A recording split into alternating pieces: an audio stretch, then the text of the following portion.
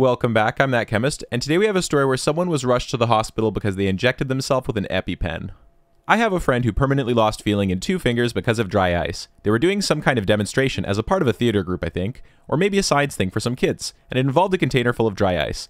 Well, a piece of dry ice fell out of the container somehow, and a kid was about to grab it, so my friend snatched it up before the kid could. They balanced it on their ring and pinky fingers while moving it towards the container to put it back in, and ever since then, those two fingers haven't been able to feel anything except cold. Definitely a good thing they did that, though, since otherwise the kid would have possibly gotten some nasty cold burns. So dry ice can actually be quite severe. I've personally got frostbite when working with dry ice before. There's usually two different ways you can get dry ice. You can get it in the solid pellet form or block form, but there's a third way that is less common. And so you can get a cylinder of CO2, that's a liquid withdrawal cylinder, and it'll actually blow the CO2 into a brick, and the brick is really fluffy and light. So personally, I think the bricks of CO2 that you make from a cylinder are the best because they're fluffier, they're lighter, and you're less likely to immediately get frostbite from them. Now, the solid chunks of dry ice are a lot more dangerous because they're denser. And so in this case, I'm assuming that they were working with the pellets or one of the big blocks that are like the pellets. You have to be really careful when you're working with dry ice, and you're supposed to wear thick, well insulated gloves to protect your fingers from any possible burns. I dated a girl who worked in a lab that was doing experiments with H1N1.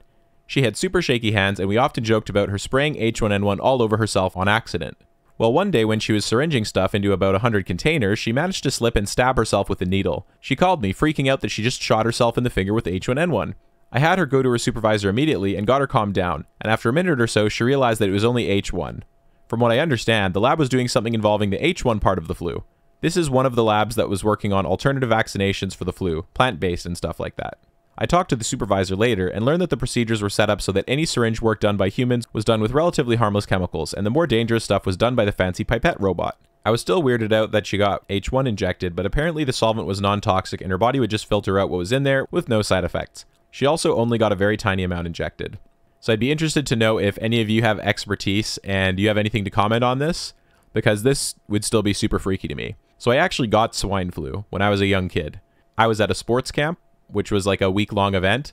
And I remember one night we were in a dorm full of students and it got really humid overnight, like super, super humid. You can imagine like eight guys in this little cabin sweating all night. It was closed, there was no ventilation.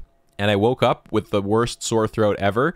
And there was like a thick layer of condensation and sweat on the window inside the cabin. And it was disgusting. When I got back from camp, I was clearly sick. I wasn't sure whether it was a cold or a flu, but then I got the worst backache I've ever had in my life. And I had a multi week long backache that felt like I needed to crack my back, and there's nothing I could do about it.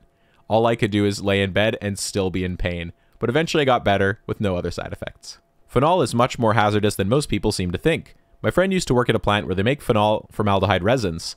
They take delivery of phenol via railcar tanks of 20,000 gallons. Getting the phenol out of the tank requires melting it with a steam heated wand. This process is done by a team of two workers in head to toe PPE one who melts the phenol, and one who stands by in case the phenol overheats and burps out of the tank onto the guy doing the melting. If that happens, worker number two is to grab worker number one by the collar, throw him into the safety shower, and call for an ambulance. Pretty much everyone agrees that worker one is toast at that point anyway. Skin exposure over 25% of the body is potentially fatal.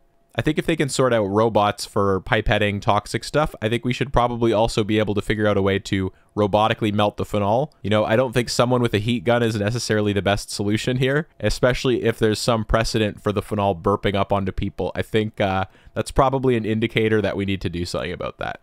In the cell culture lab of our university, someone messed up and mislabeled a few bottles of anhydrous ethanol in concentrated hydrochloric acid solution. These are used at different points in the media preparation. Media is just what biologists grow stuff on, like it's frequently called growth medium.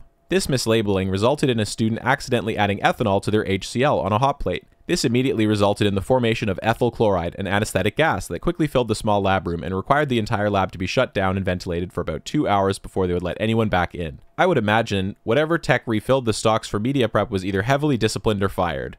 No one got hurt, but I had to restart the entire process the next day, as they made everyone discard our media and all stock was replaced fresh. To be specific, the HCl is used to help balance the media pH, and we add lye and distilled water to the HCl and media solution until we get to a pH of 6.58. The ethanol is supposed to be used to sterilize the petri dishes before pouring in the hot, fresh media. The students' media started bubbling, and we all got the heck out of there, as that was not at all what should be happening from simply adding more HCl, and the alcohol scent quickly filled the space. So I looked into this a little bit, and ethyl chloride's actually quite toxic at high doses, and at lower levels of exposure, it has similar effects to diethyl ether. I don't know what those effects necessarily are, but ethyl chloride looks like it could also be carcinogenic, which is not that great. I'm glad to hear that nobody got hurt. Today's Yikes awardee is Francisco Fake Last Name. The first story reminded me of my high school chem teacher. He lit several kids on fire, not all at once, it was over the course of years, and it was a lot more than several. For whatever reason, they just couldn't fire him, which honestly, I'm glad they didn't, because he was actually a great teacher and solidified my interest in chemistry. But still, he was wild. It's ironic. Fire a guy and he teaches for a day. Let that guy set kids on fire and he can teach for the rest of his life. Regarding the accumulated mercury story, here at the university in Karlsruhe, apparently the same thing happened.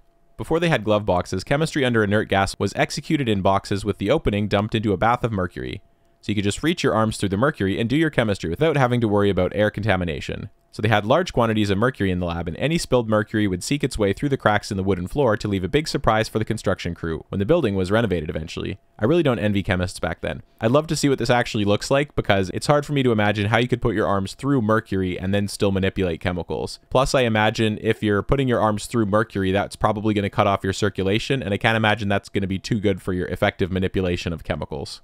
This is today's big story. Not specifically a chemistry story, but definitely a hazardous substance and common sense lesson.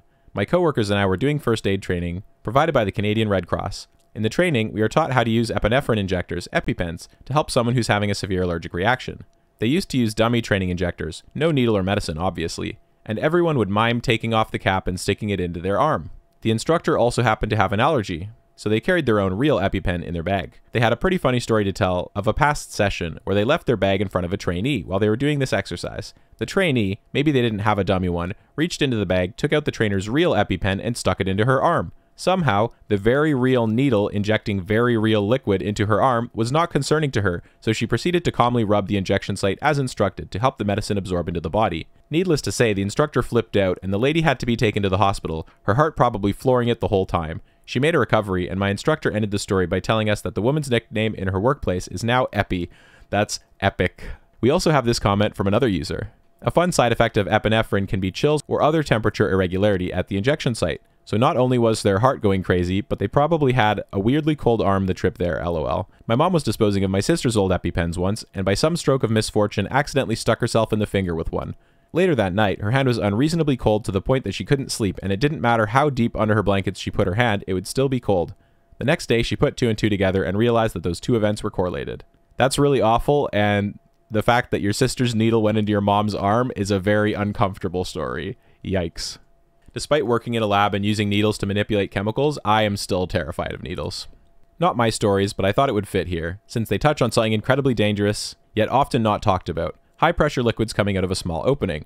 Because at high pressures and small surface area of the liquid, due to coming from a small opening, it essentially acts like a needle, penetrating skin and settling itself into your tissue once it slows down. Jet injectors work exactly via this mechanism. Here are a few stories that I found in other comment sections on the matter. A guy I worked with had a high pressure sprayer loaded with trichlor to clean it out. Trichlor is trichloroisocyanuric acid. This is like the pucks that you have in a pool to chlorinate the water. He squeezed the trigger and couldn't see anything, so he ran one finger in front of the nozzle to check. It was spraying a stream so fine and so hard that it pierced his finger to the bone and filled his hand internally with trichlor.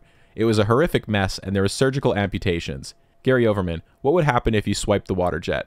A buddy of mine had hydraulic fluid get forced into his hand under high pressure.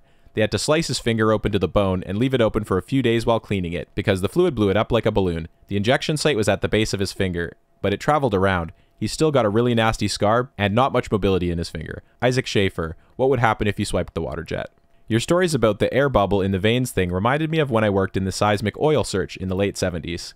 The vibrator trucks, used to send sound waves into the earth, ran an extremely high PSI hydraulic system, and we were always warned never to put our hands anywhere near the hydraulic lines when they were running. Tales were told of mechanics that received blood poisoning from pinhole leaks that forced oil under the skin as they were running their hand along the hoses. I'm unsure if the tales were true, but I erred on the side of caution. Brad Griffin, ballistic gel versus 60,000 psi water jet. These are all really scary stories, and while water jets have a lot of utility and they're really interesting, they can be quite terrifying. There's this one really great YouTube channel, Fireball Tool. If you're interested in tools and how tools are designed, I'd encourage you to check it out. This is not sponsored, but it's a really cool channel that I think normally only appeals to an older audience, and I find myself super interested in how tools are manufactured. There's literally no way this could go wrong. My friend, seconds before the sounds of shattering glass. I hope you've enjoyed this episode, and I hope you have a great day.